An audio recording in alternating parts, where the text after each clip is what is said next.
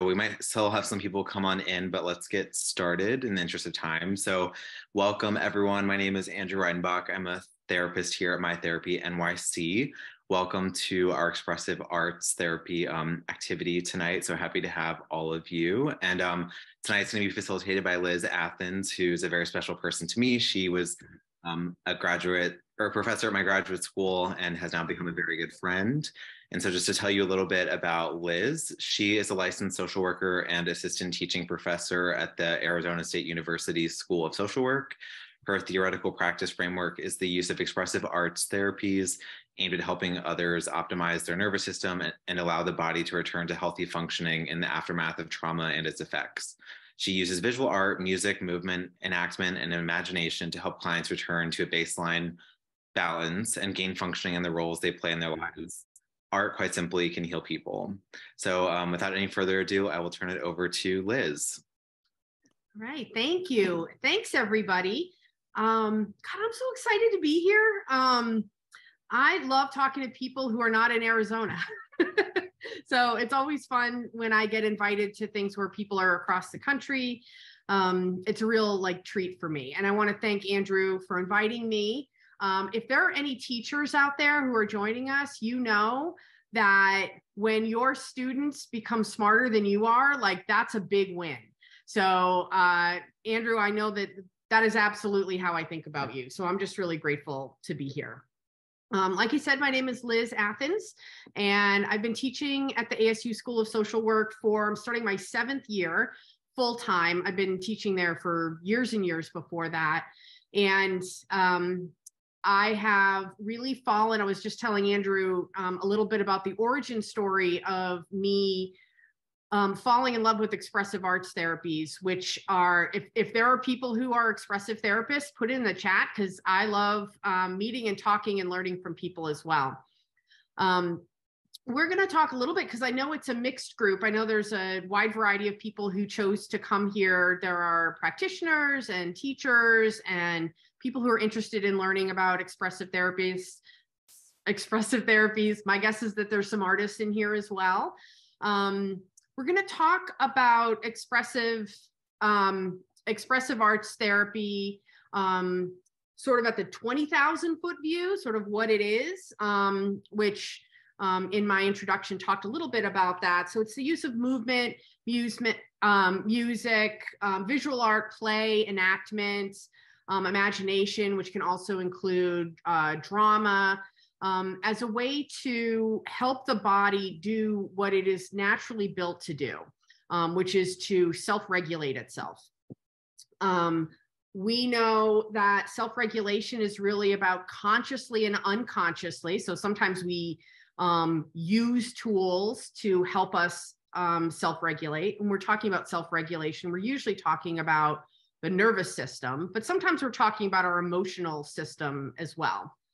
Um, that we want to be able to have our nervous system regulate itself. Ideally, um, we want to have a pretty large window or circle of capacity that we can handle the day to day stuff that's going on. Um, so, we're going to talk a lot about awareness. We're going to talk a lot about um, we're actually not going to talk a lot about anything, but we're going to talk about awareness. We're going to talk about two concepts that I think are really important when we're thinking about managing stress, which is something that we all experience, um, interoception and exteroception. Um, but first, I wanted to tell a story that is so timely. It happened five minutes ago, or maybe 10 minutes ago. I go to my, uh, I'm getting ready. I'm sitting here. This is where I am when this happens.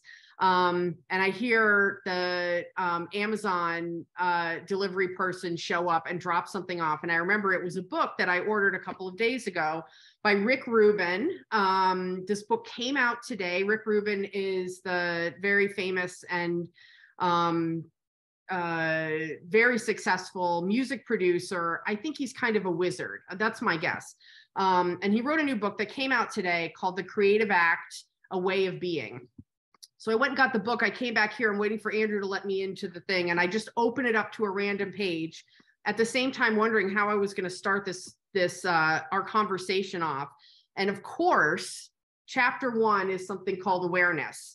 And I just want to read just a little bit. because um, I think it is very in alignment with what we're going to talk about. And I just got chills just thinking about the synchronicity of it all. In most of our daily activities, we choose the agenda and develop a strategy to achieve the goal at hand. We create the program. Awareness moves differently. The program is happening around us. The world is the doer, and we are the witness. We have little or no control over the content. The gift of awareness allows us to notice what's going on around and inside ourselves in the present moment, and to do so without attachment or involvement. We may observe bodily sensations, passing thoughts and feelings, sounds or visual cues, smells and tastes. Through detached noticing, awareness allows us to obs- allows an un hold on. Through detached noticing, awareness allows an observed flower to reveal more of itself without our intervention. It is true of all things. So I think that is a little trippy that this book came just as I was trying to figure out what I would start with. Because I really think that when we're talking about expressive arts therapies, which is different than art therapy, movement or music therapy, um, it's different than drama therapy. Um, we are really talking about the process of creating an artistic experience, whether it's visual art, which we're going to practice some tonight, um, or movement or music. Um, so it's about the process and what happens during the process rather than the end result or the product. When I use visual arts with clients, sometimes I'll say, we're going to make some art destined for the trash bin. So it's really not about creating something that we are um, proud of or that we're happy about. Um, this really allows people to let go of that inner critic, that part that says, well, my artwork doesn't look like someone else's artwork. Um, so it's really about us looking at how um, we notice things about our body um, that are going on within our body or in our environment um, in the moment. Um, we know that when we are under great stress, and so stress can be on a continuum from, you know, the smallest little thing to severe um, uh, toxic stress that comes from long-term traumatic relationships or environments. Um, and we all fit on that continuum somewhere. We're going to call it all stress tonight. We know that when we're stressed, we tend to be challenged with um, noticing some of those things. But most people, by the time they've made it out of their teenage years, have created a few um, ways that they know are helpful with self regulation. Um, how do we calm ourselves down when we're feeling stressed? Um, so I think the first thing, and I'd really like for this to be much more of a discussion than anything else. Um, for those of you who are willing to do it, put in the chat how you what what are some ways that you manage stress? What are some of the activities that you do that manage stress? And Pollock and Andrew, if you can read some of them out when they come in, that'd be great.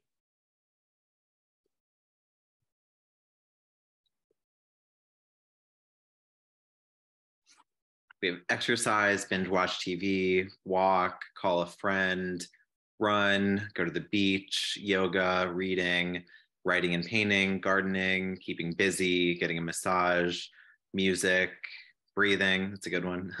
Uh, walking, reading, listening to music, cry, checking in, cooking, pets, therapy,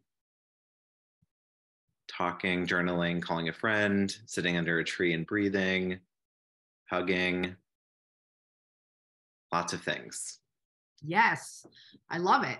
Um, and I think that um, for the person who said uh, that walking and going to the beach, um, there's a lot of research that's being done on uh, the importance of nature um, and well-being. So I think that we're going to see more and more um, research going in that direction, which is great because with research, research comes um, pretty innovative um, types of interventions that we can use for those of you who are um, therapists and practitioners. Um, binge watch TV, I love that one too. I think that um, having some we spend a lot of time talking about mindful activities. I think that there's a real benefit and a case to be made for mindless activities too. Ones that you don't have to spend too much time thinking about um, and being able to really tune out. I think that that's really helpful. Um, so before we um, go move forward i want to make sure that people have some things. I know that in the um, registration it said to have a few simple um, materials. So you're going to need to just have some paper. Any kind of paper is fine. Um, at least two um, writing instruments. I mean, they can be crayons, um, pens, pencils, markers, anything like that. You need at least two of those. Um, some tape, um, any kind of tape. You're just going to tape the paper down, and you'll see why um, that's beneficial. And then also, you need a small something. Um, so uh, this is one of those kind of glass half marbles that people use in floral displays and things. Um, but you could also use a bottle cap. You could use a penny or a dime. Um, but you need something that's small and round. So if you haven't gotten those things, why don't you gather them up just so we have them um, when we're to get um, when we start doing some um, some activities. Um, so I think that um, two things that I want to make sure that we sort of understand, um, and this will be repeat for some of you, I think, is the concept of interoception. Um, so interoception really um, came to us originally in the the uh, occupational therapy and physical therapy world. They did a lot of research on interoception. So interoception um, literally is the felt sense um, of our, and our own awareness of what's going on in our own bodies. So um, some of us are really good at this. Um, some of us are not so good at it. So, do you notice when you are experiencing muscle tension, when you're holding your muscles in that sort of tense or stressful spot? Do you notice um, when your heart rate starts beating faster or your respiration is faster? Do you notice when you start to get sick? You know, so some people can feel a cold or sickness coming on. Other people don't have, for some reason, don't have this that sense sort of down, and then they'll wake up and they're like, "I can't believe I'm sick." Um, so uh, temperature is another um, interoceptive sense. Do you notice when you start feeling hot inside? So it's not about whether it's hot outside or cold outside, but do you notice if you're having a temperature? Do you notice if your feet are cold? Things like that. When people are under a lot of stress, go back to that continuum. Um, these can be some cues that people struggle with and can miss. And when we miss those things, we can tend to put ourselves in vulnerable situations, which can cause more stress. So um, those things are important. When we when we think about interoception, we're usually talking about physical sensations that are going on. Um, but in the psychology world, we also talk about it from a psychological perspective. So the emotional components of it as well. Do we notice when we're starting to get frustrated? Um, and not just do we notice, but how do we notice? Um, so I'll put it in the chat again. So when you are starting to feel stressed out, how do you how does your body tell you that? Let's hear some examples of that. How does your body let you know that you're starting to be stressed out? All right, what do we got? Stomach ache, increased heart rate, shoulders pounding in the chest, lack of focus, um, tightness in the jaw, tired, off balance, nauseous, um, headache, migraine, neck pain. Yeah, so so those those are per. I mean, it's awful when we feel that way, but it's really great that people know that their body is giving them signals of this. Um, not everyone, like I said, puts those things together um, they could be stressed out and they could be having stomach issues. So we know that um, we know what um, adrenaline and cortisol do to the gut and how there's that connection um, when we're feeling stressed out or nervous, that it's pretty natural for people to feel nauseous or have butterflies in their stomach, be upset, things like that. Um, headaches is another one that's very common. Um, and for the practitioners that are joining or are here with us, you also know that um, there's so much we don't know about the brain and the body, um, the connection between the two. I make it sound like they're two different things. You know, our brain is our, is our body. Um, and that we're learning more and more because now we can take photographs of the brain while it's working and while it's being stimulated. So we're learning more and more about the brain and the body and the various systems. So the hormone system and um, neurotransmitters and um, all of the other kinds of systems um, and how they are connected together and how they feed off of each other. So interoception and an, and an interoceptive sense, that's a hard thing to say, um, is an important thing for us to be able to cultivate if the goal is stress management. We want to be able to notice sooner um, when we're starting to feel stressed out physically or stressed out emotionally. Um, exteroception is how we notice and respond to the environment um, things that are happening in our environment that make us feel safe or not safe.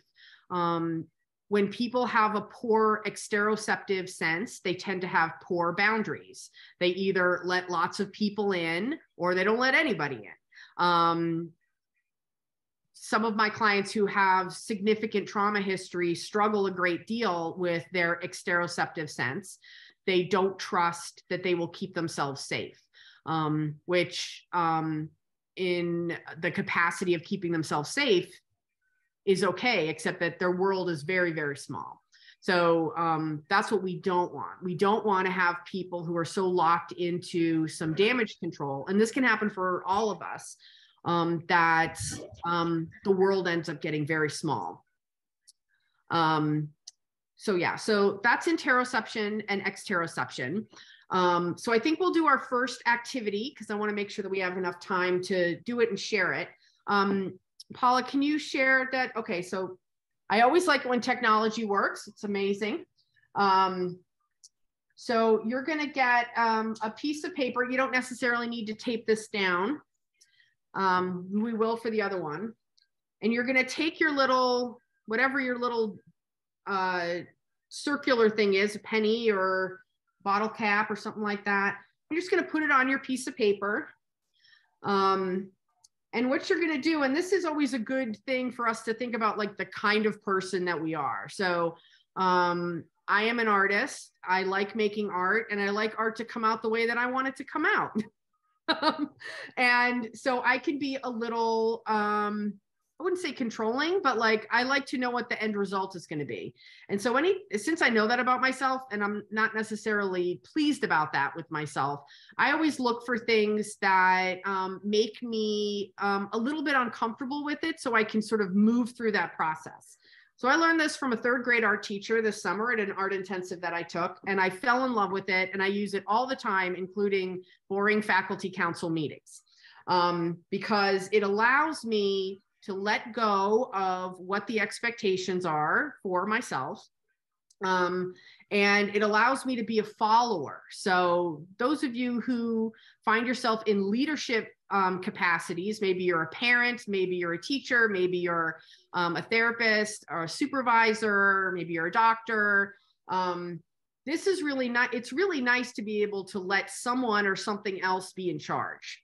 So what we're going to do, and this is very uncomplicated, um, and for some people it'll be very calming. For other people it'll be frustrating, and I'll be interested in hearing about it.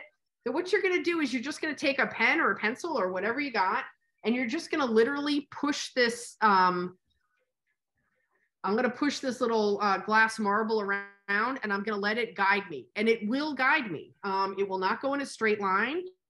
It will not um, it will not necessarily, I won't be able to push it along. So I would just say that you do this. So, and just start it, and then you're going to have to sort of take your cues by where it's going to go. And you can see that it, since it's circular, it likes to make sort of circular things.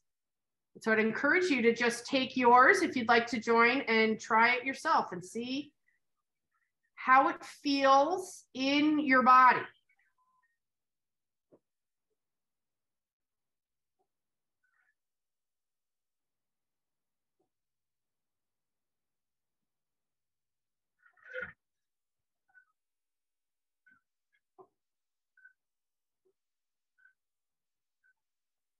When I do this, I tend to start off feeling tense and then I sort of relax into it, which is that's just sort of what my process is. I encourage you to try a few things. Speed up. Um, can you tell it. us, like, what are you exactly using? A marble thing in the middle over there? So yeah, so it is. Um, it's a small. I, am calling it a marble, but it's like a half a marble. Um, and it's they're little. Um, let me see if they have a name for them. They're decorative filler. um, I got this at uh, art supply store for five dollars.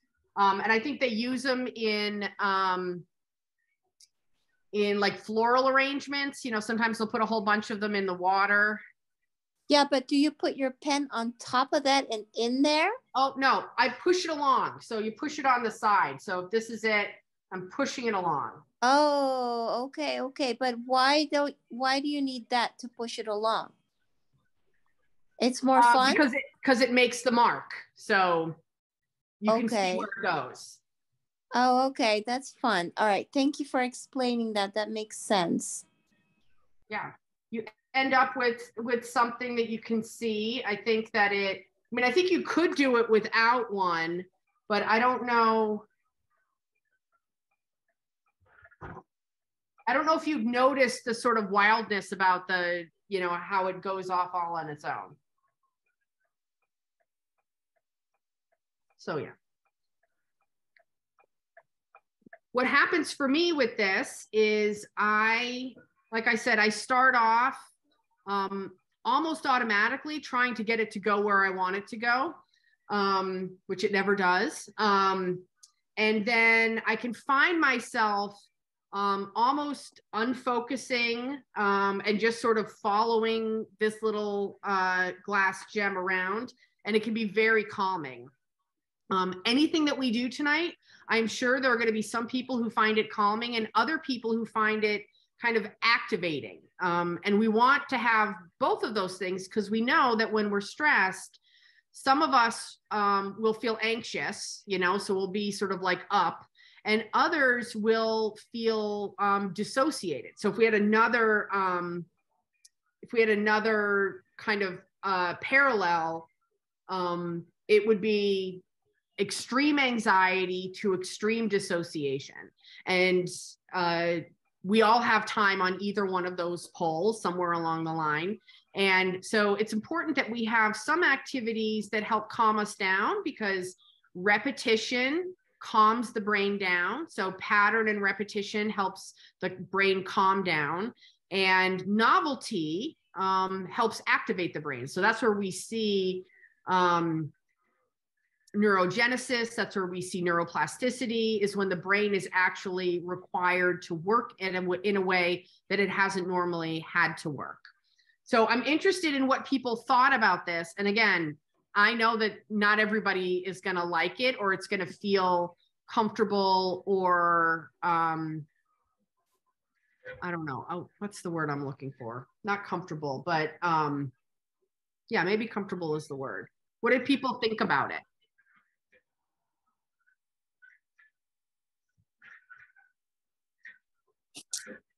uh, free flowing creative space. Um, they liked it, it's soothing. Someone loved it. It was fun, kind and gentle. So, yeah, so one of the things that is helpful when we're using expressive arts as a way to manage stress is to see how could you stack things one on top of another so we know that the brain is activated um, in different ways at different times using different mediums so um, when i do a lot of this work i try to incorporate movement and music or sound on top of it like that requires that the brain does a lot of work um, it's moving the brain away from that sort of stressful um, pattern and pathway into having to, you know, uh, incorporate and interpret a lot of things. So anytime that I can use um, art with movement and music, I'll try to do that. Liz, um, two quick questions. Sorry yeah. about that. Um, one is someone just commented saying that they would be curious to see what it would be like to do it when stressed. Um, and then also a question is, what do you think about adding a steady inhale and exhale while doing this? Yeah, I think that that would be great. Um, when I'm thinking about, um, so one of my, I'd get in trouble with my boss and my director by saying this um, in like a faculty meeting, but I'm growing more and more um, weary of the idea of following a consistent evidence-based practice. I think that it gets rid of practice wisdom. It gets rid of like what we know about ourselves and what we need and what's going to work for us. And those of us who are therapists, what we know about the relationship with our clients and what we know about um, what it is that's going to benefit them. So I think that some of those things, like I wouldn't necessarily use um, art, music, and movement for every single person. Um, but I like the idea of um, considering what the breath is going to look like for that. Um, if we changed our breath, how might our visual change? You know, those could be interesting things for us to um, think about and practice. Um, and I agree that when you're calm and relaxed and doing something voluntary um, and you're doing a calming exercise, maybe that's not the best best way for us to know whether it's going to work or not. So I encourage people to try it out if you're feeling stressed out or if you have um, a couple of minutes before like the next Zoom meeting that you have to go to or the next class you have to go to or the next thing that's on your agenda. Um, I think that this can be helpful, especially if you get into a practice of it. So it becomes something that is um, calming, but also activating at the same time. Um, so that can be really helpful. Um, I think that the breath always is, you know, it's one of it's one of the few things that happens involuntarily, but we also have some control over it. We don't have too many things that are like that. So anytime that we can involve the breath in a very practical way, um, whether we're doing breath work or we're just becoming more consciously aware of our breathing, um, those things I think are really helpful. And there could be lots of ways that you could adapt this. Um, it also could just be a fun thing for um, adults and kids to do. Like I said, I learned this from a third grade art teacher who utilized it. Um, so they did this and then they um, did things with this, which is like my favorite form of art. Um, so you make something, you cut it up, you make it into something else. It might not last that way. You keep, you know, keep cutting it up, and some some of it ends up getting thrown out, and some of it ends up being something that is like my favorite work. So you could use this as um, a coloring page, you know, so you could now cut, uh, you could now color in or watercolor in some of these things. So that could be really helpful um, and fun as well. So, so that's one. I, I don't know what the name of this is. Uh, maybe we should uh, collectively come up with a name for what this activity is. Um, marble doodles. I don't know. If anyone has a good idea, put it in the chat. And I think that that could be really helpful. I like it when things have a name. So, and while we're talking about this, I think it's good to think about like who might you use this with and how might you use it? Um, would you use it for yourself? Not just this, but you know, any other expressive activities. How might you use it with yourself, with your children, with your students, with your clients? It's good to think about those things and not have this live sort of in a bubble, you know, outside of that. Um, so let me know if there are other questions, but I want to talk about bilateral work. So if we have folks who are um, therapists in here that use either somatic experiencing or EMDR or other sensory integration um, techniques, you know the importance of using the left and the right um, hemispheres of the brain as a way to optimally train the brain to manage um there's a dog in my backyard that does not belong there. I just looked out my window. I'm going to see if it's my neighbor but um so the left and right hemispheres of the brain. And the easiest way to do that um, in an art sense is to draw with your left and right hands at the same time. So um so we're going to do that. Um, this is where you're going to need to tape your paper down onto a flat surface. Um, we don't realize when we are, um, when I can use this over here, uh, when you're writing, you tend to be able to hold the paper down. But when you're using your left and your right um, hand at the same time, the paper could tend to go all over the place. So we're going to do um, two types of drawing. They tend to um, activate sort of different parts of our nervous system. Um, that is by design. I'm going to tape down my other piece. I always just tape two pieces down, one on top of the other, so I can just pull one of them off. And I'm going to use these. I'm a sucker for a good uh, a good art supply. I'm using these um, art crayons, which are like um, oil pastels, kind of, but they're just non-toxic.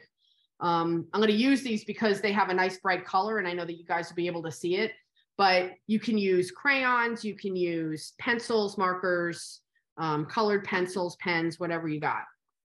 So this is another example of that interoceptive sense. So I'm going to have everyone before we start pick up a um, pick up one of your um, mark making uh, items, pen, pencil, in your dominant hand, and notice what happens in your body, if anything. Do you notice that anything has happened? Are there any thoughts, any emotions that are kind of coming up? And let's put those in the chat before we get started. What do you notice? It's in your dominant hands.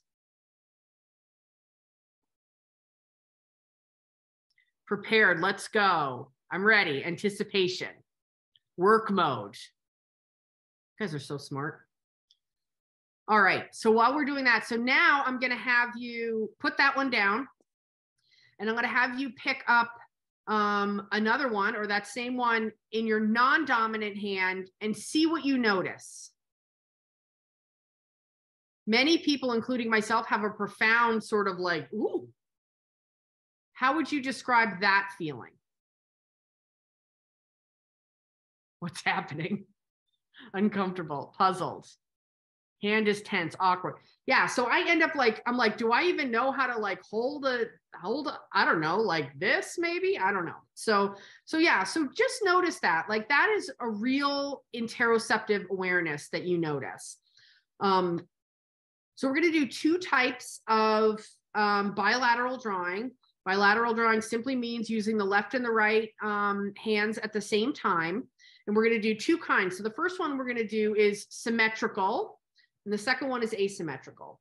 So symmetrical bilateral drawing, that's a that's a mouthful, um, is simply your left and right hand doing the same thing, um, creating the same pattern. So you could do um, lines like this. My favorite one to do is to put both of the markers in the center and do a little circle and come back and do a little bigger circle and a bigger circle but whatever it is you want to do is perfectly fine.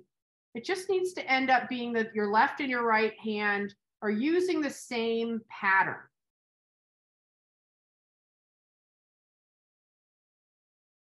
And again, notice, does it still feel super weird and uncomfortable and that it's puzzling? I like to switch them around so I can have just some color on the other side. But whatever you want to do,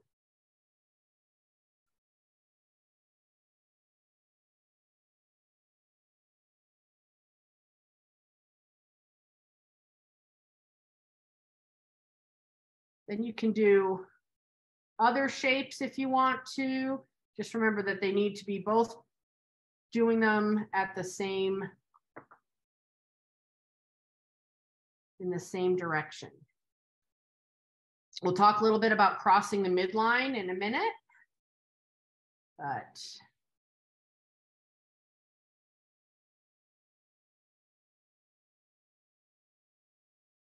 all right.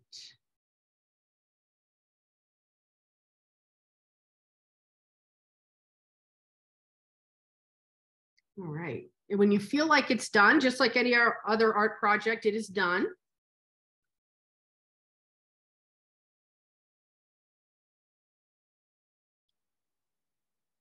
And I'm interested in how people felt about that. What did you notice came up for you, or what did you notice um, about that process that um, feels interesting? So you can share it in the chat, or we can have people raise their hand if they want to jump on and talk. I don't know, Andrew and Paula, if you're up for that yeah, whatever works. You can drop stuff in the chat. Looks like the chat is getting some stuff, but also feel free to unmute yourself and chime in if you'd prefer. So so far it looks like we have increased confidence. It was fun. Once again, a certain amount of freedom in the creation, comfortable and calming, focus. Can I share verbally? Yes, please. Yeah i feel like at first it was like the hands were against each other like it was like right versus left but then like by the end it was like oh a little partnership. They're just working together. Um perfect. I really felt before. Yeah and that's and that is um, a pretty common experience. It starts off feeling awkward just like anything else that is new for you. Um, and you can move towards it feeling more comfortable um, and you know more comfortable and as patterns sort of develop that helps as well.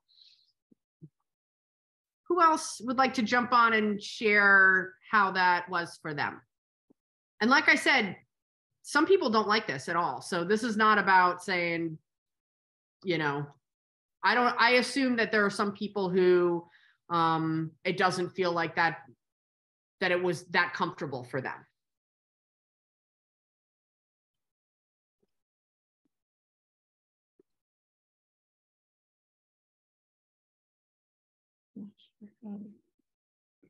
we have a couple more things in the chat. So um, having the right, this person's dominant hand working helped with the movement of the left. It would start off soothing, um, start off unsure, but then as they went, kept going, um, they wanted to keep going. The dominant hand felt weird, the non-dominant felt calm. Interesting. Yeah, so think about how so I when I first learned this, when I first learned this, it was a long time ago. Um, and I was facilitating an intensive outpatient program um, for people with substance use disorders. And I just happened to have, you know, because that's an open group, so people were coming in and completing. Um, I just happened to have a group of folks who really struggled with anxiety. Like it took them a long time to kind of come in, sit down, kind of get their wits about them. Um, and I started having them do this, and we just did it on a clipboard, you know, with two pencils, and they would do that. And I found that it really sort of like moved them back into their body. And I included some other things. So they had to have their feet on the ground. We did a little, you know, grounding exercise around that. And this tended to, mean, it wasn't a you know a magical thing um it just allowed people to move from like the stuff that they were worried about or that they've been dealing with um into a place where they're just a bit more in control of what was going on interoceptively. Doesn't mean that we didn't talk about those things but instead of being um, coming from an anxious place they were coming from um, a more sort of stable space. They were they were in a space where they had a bit more ego strength about them. And they could also um, talk more about it. Uh, that's my own anecdotal evidence but that's really what i saw. So i used to have people do this every day three days a week. We would come in we would do a little meditation we would do um, a little bilateral drawing um, symmetrical bilateral drawing. Sometimes we would do asymmetrical bilateral drawing, which we're going to practice as well. Um, if the group was particularly low energy, that can be helpful. Um, I think this is really helpful to work with kids, especially in a classroom setting. If you have um, kids who are very anxious or very, you know, just sort of high energy, um, this can provide some real focused direction um, and when you've got kids who are on the other end of the spectrum who are sort of zoning out, um, the next one we do is much more kind of activating. Um, we live on that continuum, one, you know, in one place or another. All of us do. Um, and I think that um, the other thing that can be really helpful to think about is what are the types of materials you're going to use. Um, so if you have, if you yourself or you are working with people that are very easily overstimulated, you probably want to think about um, just using two good old fashioned pencils. You know, you don't want to have big sort of dramatic colors. If you've got someone who is really checked out, um, kind of interoceptively, um, using bright colors, bright markers can be helpful in activation. I really love those um, markers that smell. Um, they remind me of art school when I was a little kid, but you've got bright colors. You've also got that olfactory sense that can be helpful in activating. Um, it's a good um, use of $10 if you have it to buy a set of those. Um, I can't remember what they're called. Hold on. They're Mr. something, I think. Um, I have all these things right here. I can't think of them. If anyone knows what they are, those those bright um, chisel tip markers that have like fruity um, flavors or uh, fruity scents to them, they can be helpful. Um, okay, so like I said, uh, symmetrical bilateral drawing is really helpful in calming the nervous system down. Um, and asymmetrical bilateral drawing can be helpful in activating the nervous system when, if you are kind of um, hypoactive as opposed to hyperactive. Um, so we're going to do the same thing piece of paper taped down, um, two uh, different, uh, two different uh, markers. They can be the same color. I just happen to have two different ones. And the only thing with this is that um, each hand is going to move independently. So they're not going to be following a pattern. Um, you're just simply going to draw and allow these things. You'll feel like this feels a little bit like the uh, marble activity. And I think personally that this feels much more energizing and activating. So why doesn't everyone give this a shot and then we'll uh, we'll check in um, in another minute.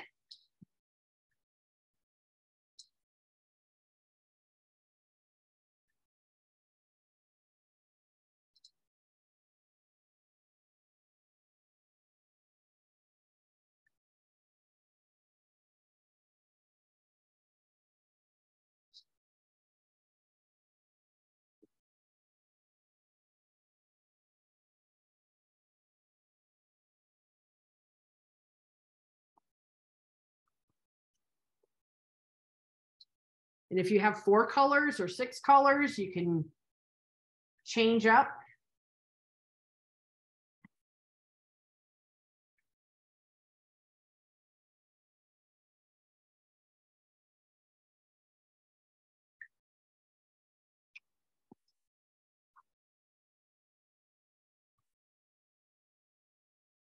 So give yourself another 30 seconds.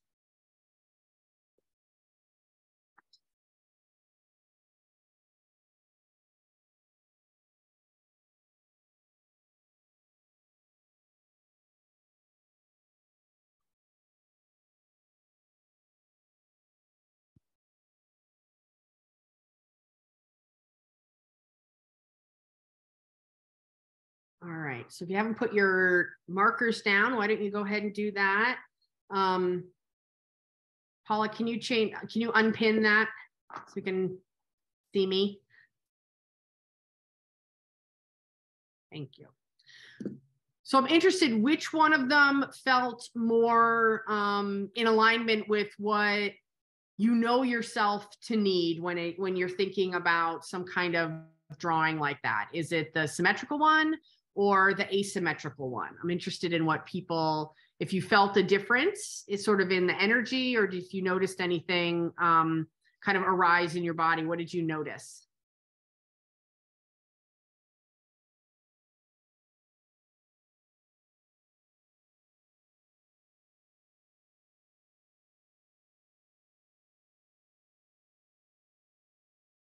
Lots of things. Um, Yeah. Some people like the symmetrical one better. Asymmetrical felt exciting and relieving and playful. Symmetrical was more calming. The asymmetrical was energizing, fun and energizing. Um, there, one person was able to focus more on the symmetrical one, but both were fun. there was a freedom and the asymmetrical. Another person said free to be asymmetrical.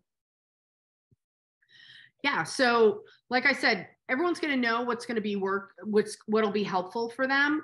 Um, what I tend to find is the bigger, the better.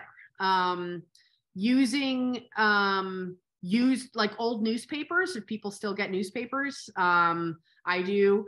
Um, I in my garage, I have a whole wall of newspapers, and I'll go out and do um, like a big version of this. Um, I really like the infinity sign, you know. So if you're doing it sort of things like this, um, then you're moving your whole body, which has like an added layer of um,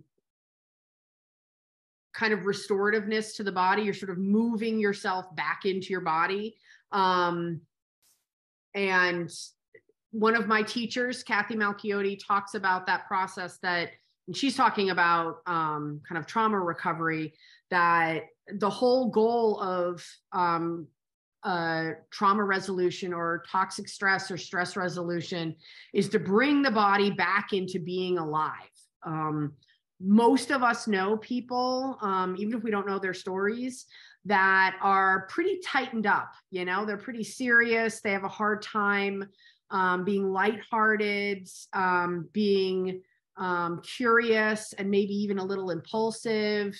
Um, those things are all part of a normal um, and healthy nervous system. We want people to be able to do things like that. We want them to take, those of you who work with teenagers or you have teenagers, maybe you are a teenager, um, you know that um, one of those goals of making it through adolescence is to be able to um, learn how to take calculated risks.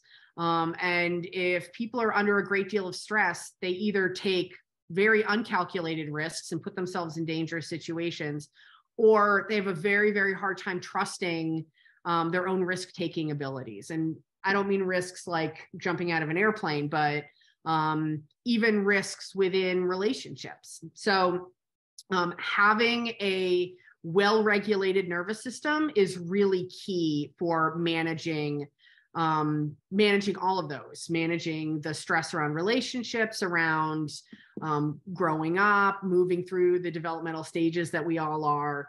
Um, so those things are really important, and we need to have some strategies for that. But really, it's not about strategies; it's about being aware of what's going on in our own body and knowing what it is that our body needs. I think that um, in the end, it is up to us to know those things. Um, and so some of us are going to use that for ourselves. Some of us are going to use that in aid to helping others.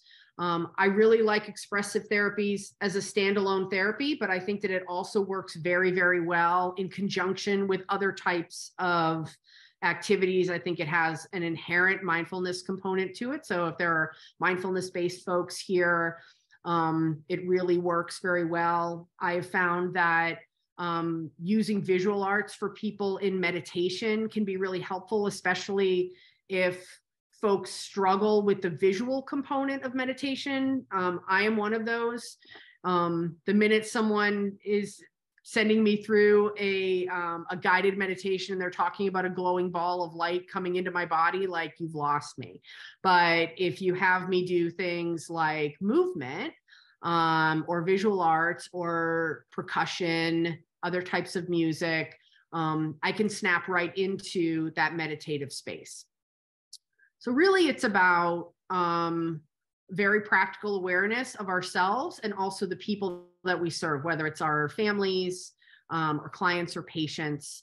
Um, I think that a lot of these things are really very helpful and they're also very transferable. So you you can see that the materials that we used are things that most people have in a junk drawer or in an office somewhere. Um, you'll want to think about that kind of stuff when you're prescribing um, activities or homework or things like that what are people going to have that's available to them want to make sure that we're equitable with things like that um, doesn't mean that we can't use the nice fancy things if we want to but we just have to be sort of aware of um, what are the unintended consequences of um, equity issues around things like that Um, what questions do you guys have for me? Or comments or whatever, but I'm happy to answer questions. I think we have a little bit of time. Yeah, we have about five minutes or so before we need to wrap up. Okay. Who has questions? And for questions, feel free to put them in the chat, or if you'd like, you can unmute yourself. So whichever way you're more comfortable with. So one question is, are there more um, art activities you might suggest that have like therapeutic benefit?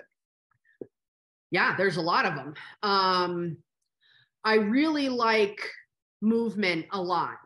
Um, even sort of small things. I've been telling the story a lot lately because I've been teaching about this a lot. Um, one of my favorite jobs and also one of the most challenging is I worked in a long term residential treatment program for pregnant women with substance use disorders and trauma history. Um, and unfortunately, it was the worst trauma stories that you had ever heard over and over again. They stayed with us for a really long time, and I worked where they lived. So I was coming into their house, or not a house, but like I was coming into their building where they lived every day. Um, and they would, I would often see them um, looking out the window at like me coming in and parking. I'm like, oh boy. So they would you know, I would told them, I'm like, you cannot pounce on me when I first walk in the door. Like, that is my boundary. You can't do that. But inevitably, like, people would be deep in their feelings. They would be having pretty significant trauma reactions because they were in a safe place and in a relational space. And so that happens. Um, and I would, if they came to me, if I saw them in the cafeteria or I saw them somewhere, I would just start rocking um, putting my weight on my left foot and my right foot, like not anything dramatic. And I would make them do that with me, which is a whole concept of co regulation, which we didn't even talk about. Um, and that I was really the one that was in charge of regulating their nervous system, which is a crazy thing. Um, and they could still talk to me but i'd be like i'm not talking to you unless you follow me with this and so moving left and right you're crossing your own midline a little bit which is a very powerful thing um, that can be something that's very small but like really you know it can be really powerful. Like i watched a lot of people go from being completely dysregulated to being able to have their wits about them and then we could have a conversation about whatever it was that was so upsetting to them. Um, so movement dance things like that um, movement with a rhythm um, is very calming and soothing movement against rhythm is really jarring but that can be helpful too especially if you have folks who are dissociated so playing a music and having people actively move against the beat um, it feels very uncomfortable. Um, but it can get people who are very dissociated. Um, and I don't mean dissociated in the clinical pathology term, but although sometimes that as well. Um, but people who are really sort of low energy, they're not in their bodies, um, they're not sort of of the environment, that that can be really helpful. Um, body mapping is another one that I really love. Um those of us who have been around for a long time we used to like draw people's outline of their bodies. Don't ever do that. You don't ever need to do that again. Um that was a boundary crossing. Like i can't believe that we did it for so long in the 80s and 90s um but um, a simple um, outline of a human body you can download them off um, the internet or you can just make one um, have people this is one of my favorite um, bottoms up processes. So have people do sort of some meditation um, see whether you know and they'll do a body scan then they draw the sort of sensations in that and then they move up to the top that cognitive place um, that higher level um, understanding and communication and have people talk about that. So body mapping is a great one. Um, I could come back and do a whole thing just on therapy stuff. If we wanted to do that. So we have multiple more questions, but maybe just one or two more. Okay. And then also um, in our follow-up, we'll include Liz's contact information. So feel free to yeah. follow up with her. But yeah. um, where did it go? Do you know any techniques that you can incorporate in nature and expressive arts therapies? So one of my favorites is nature mandalas, you know, so have people go out foraging for things and um I don't usually call them mandalas. I'm very cautious around you know the appropriation of that. Um So there's something very um, calming about going and gathering things and then putting them in um, order as they sort of see it fit. Um, I tend to think a lot about the patterns of nature and the patterns of the human body as well, and some of those universal patterns and symbols that we see. Um, I think that journaling outside is really very helpful. It's pretty uncomplicated. You just go find a spot and maybe task people with a few journal prompts or just let them go, you know, let them write what comes up. Um, meditation in nature, I think, is great. Um, sun, you know, nature bathing, I think, is good. Um, um, it's really more about you know again with with expressive therapies it's really about noticing what's going on with you and what's coming up and so those things can be helpful in nature awesome and then i guess um, there are a couple more and unfortunately we won't have time to get to them but i guess just last uh, question is if you have any resources that you think might be of particular interest to people yeah, so I have a couple, and I'm going to um, share them with Andrew. I have a couple of books that I really recommend. Um, one of them is Trauma and Expressive Arts Therapy by Cathy Malchiodi. And the other one is um, she has a new book out that is she didn't write all about. Um, that is an edited book that has it just came out. I actually haven't even read it yet. Um, but lots of different chapters utilizing um, different expressive therapies. So I'll make sure that Andrew has that and they can send it out um, in the follow up email. Awesome. Well, thank you so much, everyone, for being here. And thank you again, Liz. It's really wonderful. Um, I hope everyone has a great evening. And we will be sending out a follow up sometime this week. Again, it'll have Liz's contact information and then those few uh, resources that she mentioned. So, again, I'll look, be on the lookout for that follow up. And thank you again, everyone, for being here. Thanks for having me. This was fun.